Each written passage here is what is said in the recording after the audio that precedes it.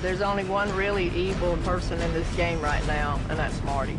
The country girl takes on the city slicker. Everybody underestimates how dangerous Jane is in this game. He knows there's a noose around his neck, and he's gonna be hung. And Go! the men battle the women in a crushing... Go! Hit it! Hit it! Hit it! Knockdown.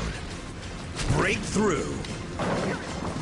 Challenge. New Survivor Wednesday, only CBS.